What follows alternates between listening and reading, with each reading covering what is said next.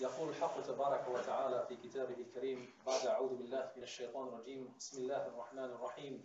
يا أيها الذين آمنوا كونوا قوامين لله شهداء. كونوا قوامين بال... كونوا قوامين لله شهداء بالقسط. ولا يجرمنكم شنآن قوم ألا تعدلوا. اعدلوا هو أقرب للتقوى. واتقوا الله إن الله خبير بما تعملون This is an ayah from Surah Al-Ma'idah, which is called also Surah Al-Uqud, Al-Mawathiq, the covenants. And in this ayah, Allah Azza wa Jal explains to us a universal concept that we need to be mindful about. يا أيها الذين آمنوا كونوا قوامين لله شهداء بالقسط Allah is saying to us, be people of justice, be objective and open-minded individuals. Not for the sake of anything, but for the sake of Allah Azza wa Jalla. وَلَا يَجْرِمَنَّكُمْ شَنْآنُ قَوْمٍ عَلَى أَلَّا تَعْدِلُوا And do not, because of feelings you have in your heart against someone who have done injustice to you, to be unjust. وَعْدِلُوا Be, be justice. Be, be open-minded. And this is, as I said, a major principle in the deen of Islam. When we are dealing with others around us, we deal with them based on the notion that we are all human beings, belong to one Father. يا أيها الناس اتقوا ربكم الذي خلقكم من نفس واحدة. And when we are trying to evaluate the international issues that are happening in the Muslim world and how we are as community and minorities, and by the way, as Muslims, the majority of Muslims are living as minorities in different parts of the world. There's a big percentage of Muslims living within what's so-called Muslim countries or outside Muslim countries in the West as being minorities. And being a minority is a norm. And this is how Islam started. It started as a minority in Mecca. And then it started, and then after that it spread to Al-Habasha, Abyssinia, and then to Medina as a minority, and then became a predominantly uh, state of Islam.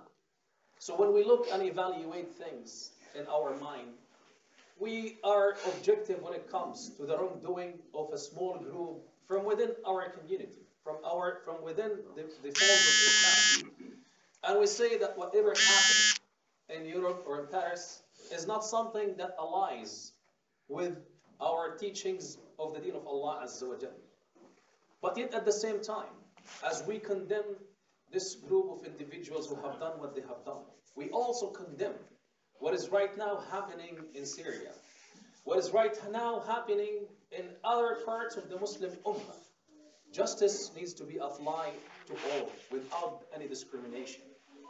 And that's why we call upon France to be more open-minded and look to the model that we have created here in Canada as a minority, as, as a multicultural, multi-faith uh, society where we see ourselves as Muslims being integrated easily into the society.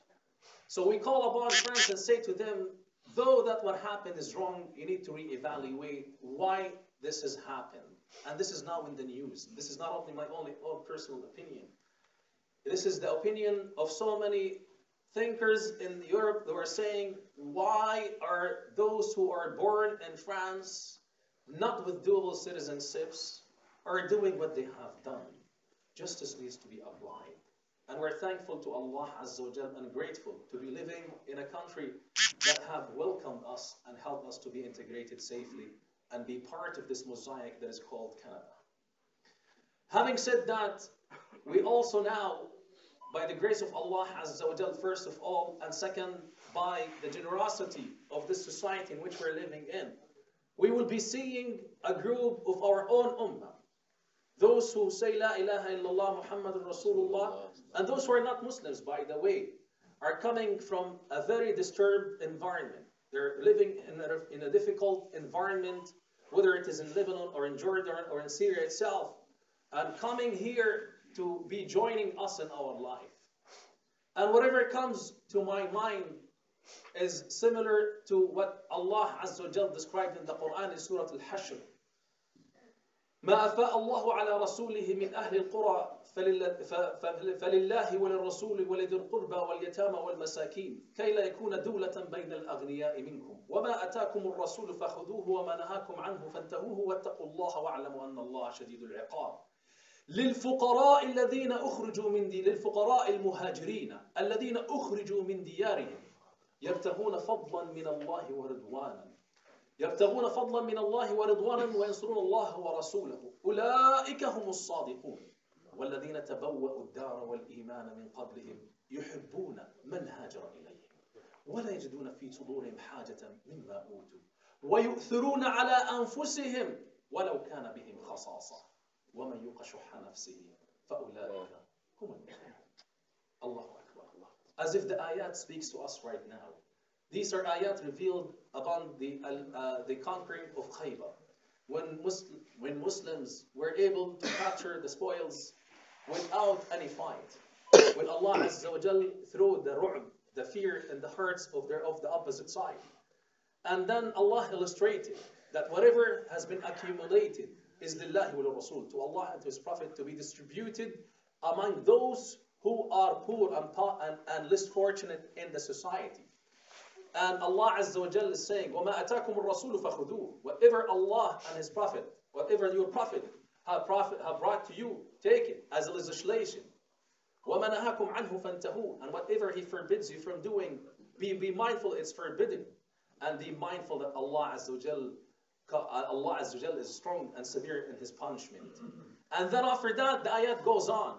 لِلْفُقَرَاءِ الَّذِينَ أُخْرِجُوا مِنْ دِيَارِهِمْ To the poor, لِلْفُقَرَاءِ الْمُهَاجِرِينَ to the poor immigrants who left their own towns, leaving behind their wealth and their, and their, and their belongings.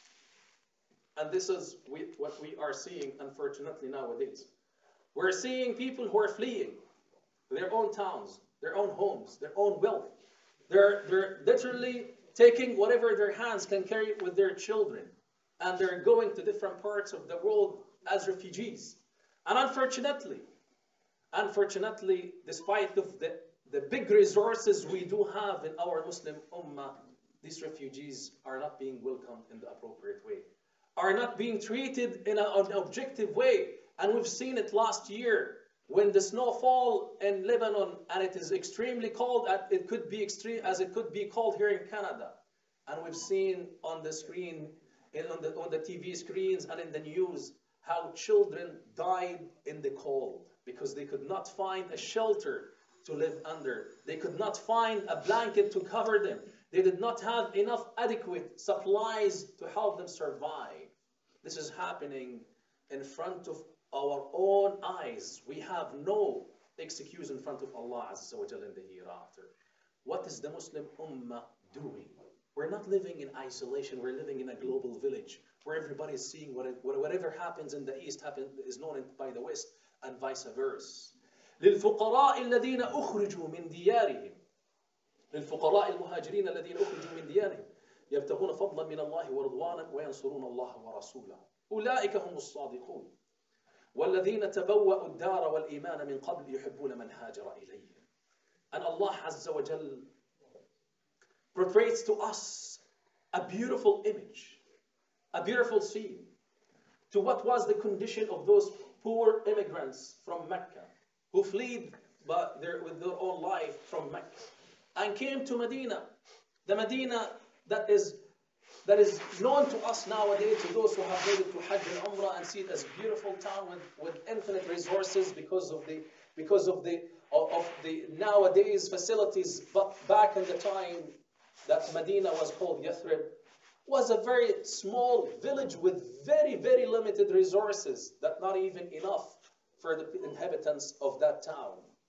Those who embraced الذين تبوأوا الدار والإيمان and Allah Azza wa Jal called Medina as الدار والإيمان the house and the iman it is by itself as the iman يحبون من هاجر إليهم they love those who migrated to them ولا يجدون في صدورهم حاجة مما أوتوا and you will not find anything in their hearts towards those who have come to them.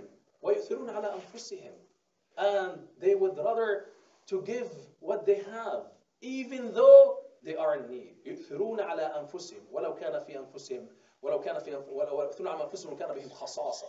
Even though were, they were to be in poverty. وَمَن يُوقَ شُحَّ نَفْسِهِ And whoever protects himself from the shuh, this disease that is called shuh, that destroys our life. فَأُولَٰئِكَ هُمُ الْمُفْلِحُونَ Those who are in need are the muflihun, the, success, the successful. And there's a beautiful explanation to this verse in the books of Tafasir. In the famous story we're all familiar with, when a guest came to the Prophet sallallahu alaihi wasallam, in, in hungry, in need for something to fill his stomach. And the Prophet wasallam took this man to his houses and could not find anything to prevent his hunger, to stop his hunger and to feed his to fill his stomach. And then came back saying to the Sahaba who would feed the guest of the guest of the Prophet wasallam. And then eventually the Sahabi from the Ansar said, Ana ya Rasulullah, I will do it. Not knowing what does he have at home, but rather rushing to fulfill and to please the Prophet sallallahu alaihi wasallam. And then as he got home, he asked his wife, what food do we have? She said, nothing except what would be barely enough to feed the kids before they go to sleep. And then the story is known to us. He asked her to let the kids go to sleep and to prepare the food and, and pretend that she is fixing the lamp, the light, and then turn it off when the guest starts eating. And let the guest eat, and they both did not have a bite, along with the children who have slept hungry. This is something that they did in secret, something done in the darkness of the night. But the one who knows, the one who understands, the one who's familiar with everything that takes place in our life, يعلم خائنة الأعين وما تخفي الصدور. The one who knows what's inside our hearts, he knew what took place in that night. And then the following day, when the Sahabi went back to the Prophet sallallahu alaihi wasallam, the Prophet sallallahu alaihi wasallam gave him a glad tiding. Gave him a glad tiding, and what a beautiful glad tiding, subhanallah. A glad tiding that will be mentioned in a book يقرأ إلى يوم القيامة يتعبد بتلاوته إلى يوم القيامة Their story will be reminded in a book that will be recited until the day of judgment. A book that we recite in our salawat. A book we, we come closer to Allah by its recitation. And we seek the rewards from Allah Azza wa Jal when we open it and read from it and comprehend it. What did it take from this individual, from this Sahabi? What did it take from his family to be recognized not only in their time, not only for a few years or for a decade, but until the day of judgment? How many bites did they spare that night? What did it take from this? It did not take much except a good heart A good heart that is full of Iman. A good heart that has full trust in Allah Azza wa Jal.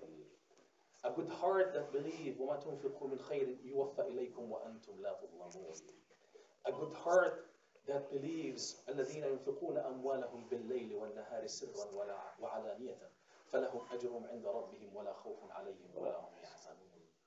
A good heart that has full trust that a day will come, they will be meeting Allah Azza wa Jal. وَبِالْآخِرَةِ هُمْ يُوقِنُونَ They have strong belief that they are going to meet Allah Azza wa Jal. How many years are going are we going to live in this dunya? How much are we going to accumulate from this dunya and then leave it behind? How much are we going to be consuming from this dunya and then work very hard to, to let it leave our bodies because we have a problem with obesity? What is our life and how did it come like? And how can we change our perceptions and our lifestyle so that we live a hayat of iman. So with it, we live a, a life that is totally different than average, than, than, than you know, just routine, than a, a life similar to those who are living just for the sake of living and eating and entertaining. That's not how Muslim live his life or her life. We have a superior and more worthy goal to live for in our life. This is a mazra'ah. This is the farm of the akhirah. Before the time come to us and, we would be regretting and saying, Ya laytani qaddamtu I wish I have a work to marry life. We're all familiar we're all familiar with the what is happening right now. A 25,000 will be welcomed to this country by by the end of March, and and we're blessed to in Ontario to be able to welcome 10,000. And I know that the 10,000 are divided into different uh, different cities, and, and I think here in Guelph you'll be blessed to have 50 of those families coming here. In Toronto, it's going to be 2,500. In Hamilton, I think it's about 10,000. There's a, there, there is a chance for us. There's a chance for us to be saying, Ya Rabbi, we would like to relive these memories. That, that, that were, were written in your book, Ya Rabbi, we would like to be inspired by those who have, who have written history. That it didn't take much, it did not take much from them. It's only a plate or half a plate or maybe two plates full of food, and that was enough to feed a man to make him satisfied for the night. That was enough for them to be recognized until the day of judgment. وَمَنْ يُوقَ شُحَّ نَفْسِهِ فَأُولَٰئِكَ هُمُ الْمُفْلِحُونَ And whoever protects himself from the shuh, then these are indeed are the muflihun. Be mindful, وَتِلْكَ الْأَيَّامُ نُدَاوِلُهَا بَيْنَ النَّاسِ That Allah Azza wa Jal tests us in this life. لَنَبْلُوَنَّكُمْ بشيء من الخوف والجوع ولا في أموالكم وأنفسكم different verses in the Quran describes to us the reality and the nature of this life. This is not a life of Jannah. This is not our Jannah. This is not this is not where we where we could feel that it is I have done enough I need to have a secure and a beautiful retirement in which can I enjoy the rest of my life. Illusion. This is not for you as Muslim. Your, your life as Muslim is to gain as much rewards and as much blessings from Allah Azza wa Jal as possible before your throat, your ruh reaches your throat and then eventually you will be leaving this dunya. Uh, I think I'm being giving the sign to ask you to come forward because it seems like the, the is getting close. Inshallah, let's come forward as much as possible. I'm going to be concluding in PowerPoint. So, second Adhan, go for the Jummah. But, but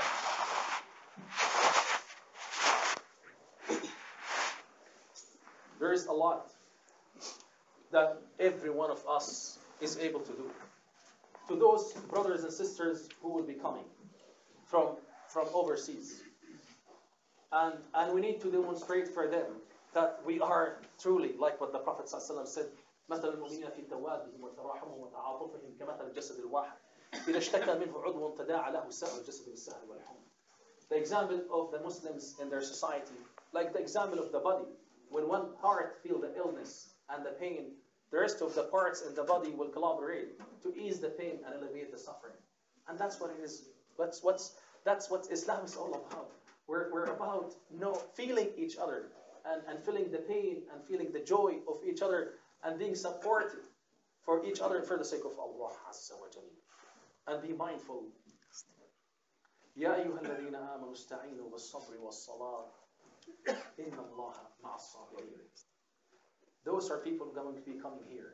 They're going to be landing in a, in a foreign environment. Similar to what we have had to a certain extent when we first come to Canada. But the difference may be that we are lucky, or we were lucky to have someone to welcome us. And maybe prior to that, we were living uh, a, a, a decent living that we prepared ourselves both emotionally and financially, maybe intellectually to be able to come to this part of the world. It's not the same for them. They are coming with the baggage of trauma in the back of their mind. A trauma that is not going to be easily erased. PTSD, uh, to those who understands this terminology, and their need for someone not only to welcome them and to make the transition easy, but also at the same time to help them deal with the trauma. There are children who have seen their own parents laying on the ground dead, unable to move. There are children who have seen their own, you know, friends and peers be, being killed in a, in a very traumatic way in front of their own eyes. So they, they are coming with so many with, with a lot with so many packages in the back of their mind that we pray to Allah Azza to make it easy for them and to help us also at the same time be able to help them not forget because it's not going to be possible to forget, but to be able to integrate and be able to find their way safely so that they're able to move on in their life and hopefully would be able to protect their deen and then do something to those who are left behind them. May Allah Azza wa Jal have rahmah on us and the Muslim Ummah and guide us and guide our children. Before I conclude, in a couple of minutes, because we're supposed to finish by 1.50. though we're dealing with the trauma of those who are coming from a war zone, we're also dealing with another trauma living here in Canada. A scenario that took place last week made me cry, and I could not help it but cry literally from the heart. One sister called me last Ramadan and said to me, I want you to make a special dua for my child who ran away from home. And she is not listening to me, she is not responding, she is living in her own, and she did things uh, that may Allah forgive her what she, for what she have done. By the grace of Allah Azza in the last 10 nights of the month of Ramadan, we were praying from the heart, and there seemed to be one person in the crowd who was making Ameen from his heart, or her heart, because they probably were a parent. Who knew what it, what it means for a parent to lose a child. And because of that dua, because of the sincerity of the dua and supplication to Allah Azza wa Jal, and we need not to undermine the power of dua. This is our tool, this is our weapon, this is our our connection with the mighty Allah Azza wa Jal, الذي يحيي العظام وهي رميم الذي جعل لكم من الشجر الأخضر نارا فإذا أنتم منه توقدون أوليس الذي خلق السماوات والأرض بقادر على أن يخلق مثلهم بلى وهو الخلاق العليم إنما أمره إذا أراد شيئا أن يقول له كن فيكون This sister called me last week and she said, My daughter is back at home for a short time. Do you mind if she come and talk to you? And I said, That's my brother. Alhamdulillah. I saw a miracle in my eyes. This sister was in need for someone to listen to her. Was a need for someone to remind her about Allah Azza but not to represent her and to criticize her and to point the finger at her and to say what she did is wrong and should not have been done. She knew that she did something wrong, but she was looking forward to come back to Allah Azza wa. So she hugged her mother, and her mother hugged her, and they both were crying and made their sujood to Allah Azza in the house of Allah. That's a powerful scene for me please be mindful about our children. Please take whatever, do whatever it takes for us to save them, to protect them, because they are eventually our asset in the dunya and the akhirah. And that's why we continue to make dua to Allah. Allahumma.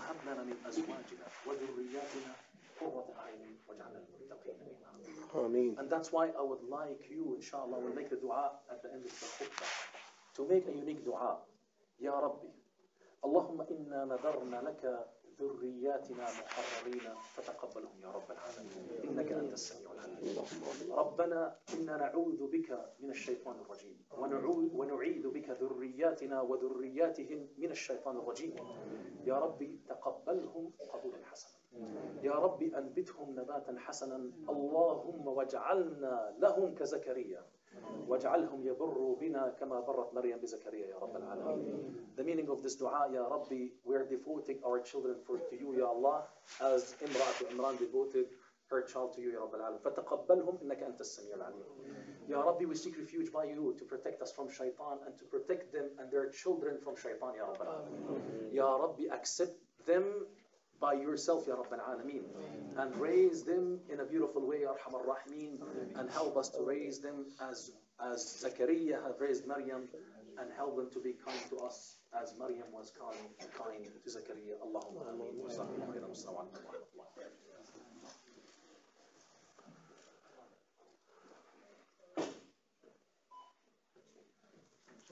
No, I get the wrong thing.